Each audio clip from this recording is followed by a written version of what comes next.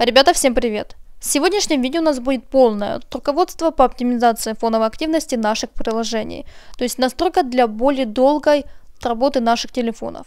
Поначалу кажется, что в настройке фоновой работы приложений нет ничего сложного, но при более детальном рассмотрении становится понятно, что в телефоне есть множество непонятных как для нас простым пользователям процессов, с которыми тоже надо что-то делать.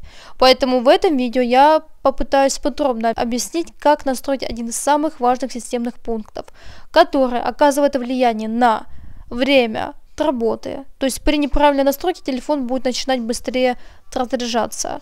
Скорость открытия приложений, количество кэшированных данных, связь, мобильный интернет, беспроводные подключения. Для начала откройте приложение «Безопасность», Перейдите в пункт передачи данных, сетевые подключения, фоновые подключения. И смотрим. YouTube. Отключаю, так как фоновое воспроизведение, режим картинка в картинке на моем телефоне не работают. А уведомления новых видео я получаю на почту. Android Service Library. Отвечает за обновление баз данных, имеет отношение к воспроизведению звука в некоторых приложениях и позволяет системе запускать таймеры, как пользовательские, так и системные, поэтому не отключаю. Google. Отключать можно, но предварительно рекомендую проверить, чтобы в телефоне были отключены уведомления о погоде, активностях, событиях в календаре и остальные процессы, так как телефон может начинать быстрее разряжаться. ВК, Viber, Telegram, прочие соцсети и банковские приложения оставляю включенными. Ну, сами знаете, чтобы получать уведомления. Память календаря. Если активно используете напоминания о датах и событиях, лучше не отключать.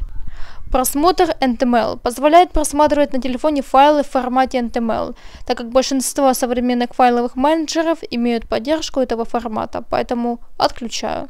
Буких отвечает за эффект боки, то есть работа фоне нужна, чтобы определять возможность редактирования снимка, но по факту является второстепенным процессом, поэтому отключаю.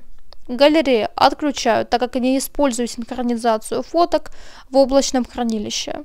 Сообщение знаем, по понятным причинам оставляю активным. Как App отвечает за шифрование данных при просмотре сайтов. Если не вдаваться в подробности, приложение практически не имеет фоновой активности, поэтому оставляю включенным. Config Updater отвечает за конфигурацию сервисов Google. При отключении фоновой активности могут наблюдаться сбои в Google приложениях, но телефон меньше разряжается, так как фоновых процессов у этого приложения достаточно много. Google Play Service for IL отключаю и использую только в браузере Chrome для просмотра 3D моделей. Google Play. Если включено автообновление, фоновая проверка приложений лучше не трогать. PacProcessor и ProxyHandler отвечает за обработку и взаимодействие с прокси-серверами. Отключать фоновую активность не нужно. Система Android. Смотрите, следующая это система Android. То есть, с одной стороны, на телефонах с собственными оболочками а, например, все функции системы Android дублируются, и пользователям кажется, что фоновую активность этого приложения можно отключить. Но на самом деле у этого приложения есть куда более важная функция – отслеживание состояния наших телефонов. Поэтому если отключить у нее фоновую активность, система со временем перестанет правильно оценивать состояние нашего телефона, то есть заряд батареи, яркость экрана и так далее. Поэтому я предпочитаю и рекомендую вам не отключать. MyCloud Sync – это облачное резервирование на сервера Xiaomi. Если не используете, можно отключить, тем более, что приложение достаточно активное. VTD Service служит для возможности обмениваться данными по сетям Wi-Fi. Оставляю включенным. google.com.google.android.sd Sandbox – это инструмент для разработчиков для проверки откладки работы приложений на разных версиях системы. Отключаю. Следующее. Сервис активации Xiaomi. Не отключайте, так как телефон будет постоянно запускать два фоновых процесса без возможности завершения, из-за чего батарея будет разряжаться намного быстрее.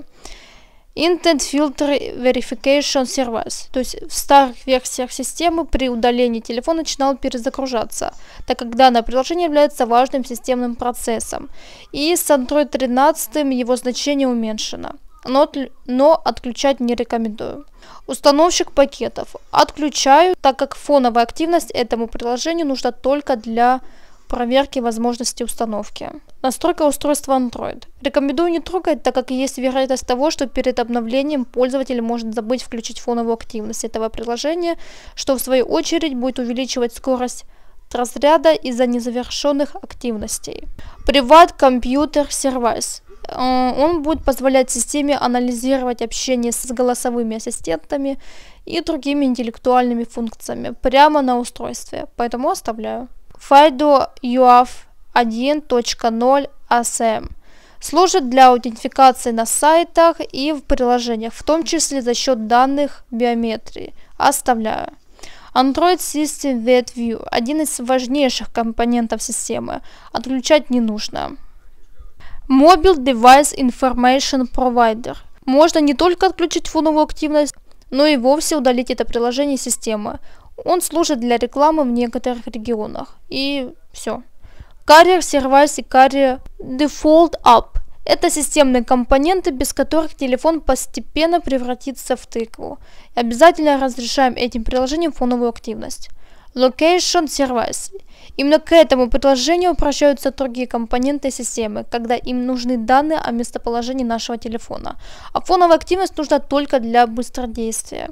Я отключаю, но прежде чем пропустить также, рекомендую проверить не случится ли сбой в работе нашего навигатора и прочих завязанных на геопозиции приложений.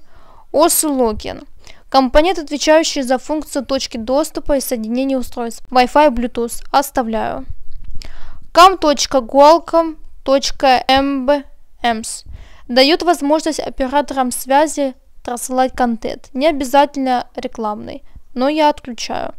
MIUI SDK. Рекомендую не отключать фоновую активность, так как это приложение отвечает за безопасность и могут появиться ошибки в одноименном приложении MIUI. Это была большая часть цикла по полной настройке наших телефонов. Спасибо за внимание, оставляйте лайк этому видео, подписывайтесь на канал. Всем удачи, пока!